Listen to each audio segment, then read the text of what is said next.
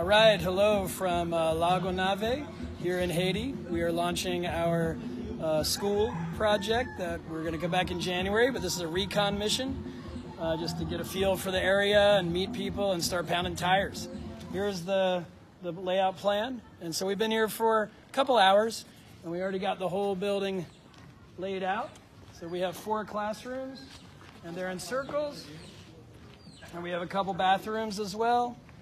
And the tires are already on site. And so this is our team today. I want to introduce you to, uh, to my old friend uh, Vladimir. This is Vladimir. Hi. Salut. And then we want to get uh, everybody else to maybe say Qui est Jean-Rélo même? Militaire. militaire. and let's check out these guys over here in the other classroom. They're doing the final touches on the tires. So uh, this is the rest of our crew. ¿Y tu nombre? Be- Belitson. Bidson? Okay. Okay.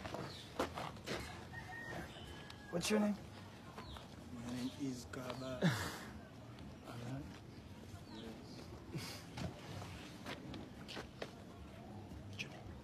Wilson Wilson. Okay. All right, let's go over here in the other classroom. These guys are putting the final, final touches on it. James. This is James. All right. We got one more. What's your name? Babush. Babush. Okay. All right. So that's our team for today, and uh, we'll check back in with you tomorrow. But we are launching Earthship Haiti.